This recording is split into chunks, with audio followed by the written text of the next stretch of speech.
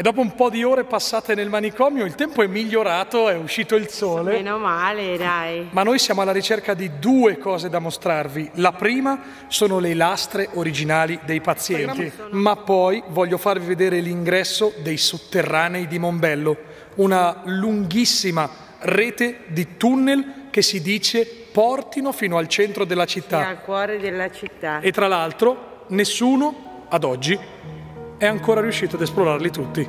Andiamo a vedere se li troviamo.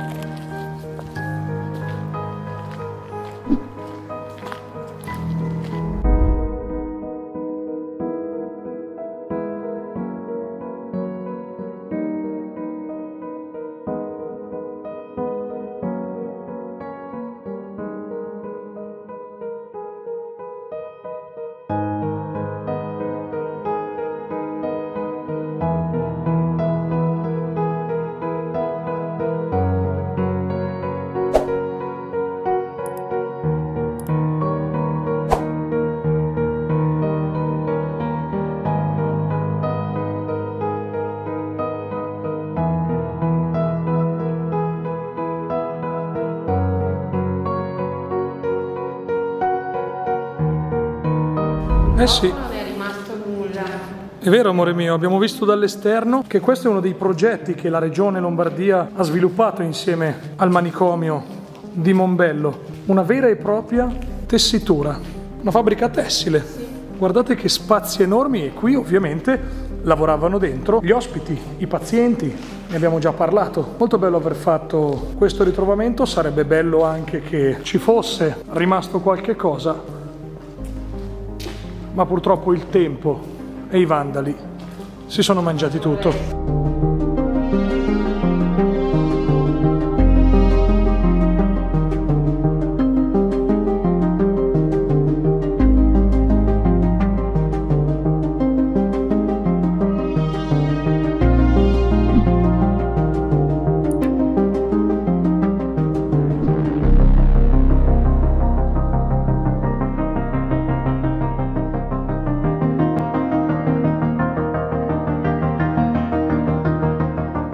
Durante la prima guerra mondiale Mombello fu anche utilizzata per ospitare più di 600 soldati in arrivo dal fronte. Si tratta proprio di soldati che non riuscirono mentalmente a reggere il conflitto e Andarono fuori di testa. in poche parole sì, diciamo che vennero proprio internati come pazienti, però ovviamente il trattamento che gli era riservato era completamente diverso. Non c'era la eh, non erano rinchiusi nelle stanze, quindi c'era la totale libertà per loro. C'era un regime dietetico eh, studiato, si dice che molti di loro presero dai 10 ai 15 kg e addirittura di questi 635 soldati 517 vennero rimessi ovviamente poi in libertà quando guarirono. C'è da dire che anche per loro fu, fatto, fu trovato un lavoro e moltissimi costruirono proprio le strade asfaltate che stiamo calpestando in questo momento che collegano l'istituto della vigilanza di Mombello agli altri padiglioni.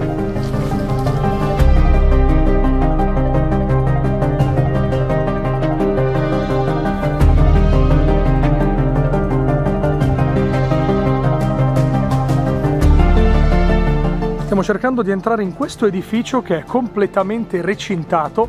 Tutte le finestre sono blindate, alcune addirittura murate. Amo, Dimmi, guarda, vieni che abbiamo trovato un barco in mezzo alla rete. Andiamo. porca, porca, porca, l'ha trovato, l'ha trovato.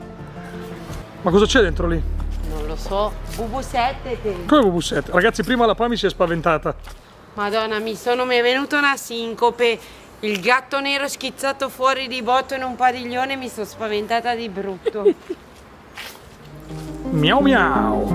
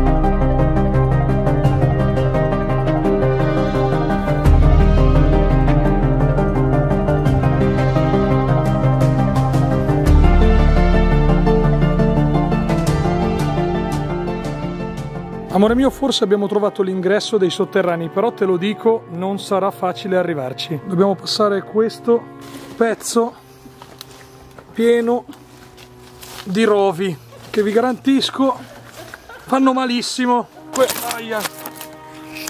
Aia. Aia. Forse ci siamo. Eh, è vero ragazzi, non ve l'ho detto, ma dovete sapere che non tutto il manicomio è abbandonato. Ci sono delle strutture che sono ancora in funzione. C'è la Croce Bianca, ci sono degli uffici e credo che questo sia il padiglione, la struttura dove si può accedere ai sotterranei. Andiamo dentro a vedere.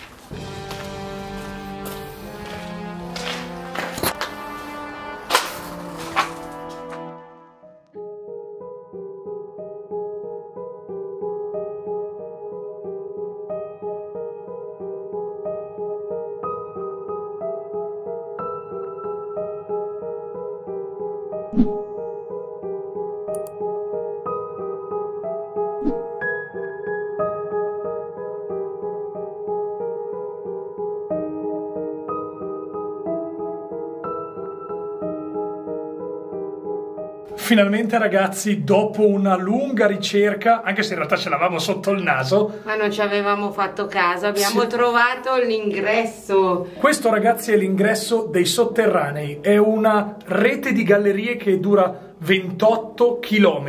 E gira tutto intorno sotto. Tra l'altro ci sono degli aneddoti abbastanza eh, lugubri anche eh, dedicati ai sotterranei. E allora scendiamo qualche gradino armati della luce che mi sono portato ed eccoli i sotterranei di Mombello.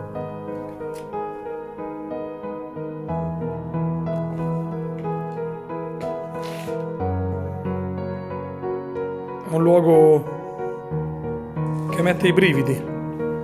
Queste sono le tubature che portavano l'acqua calda lungo tutto il perimetro. Da qui iniziano i veri e propri sotterranei.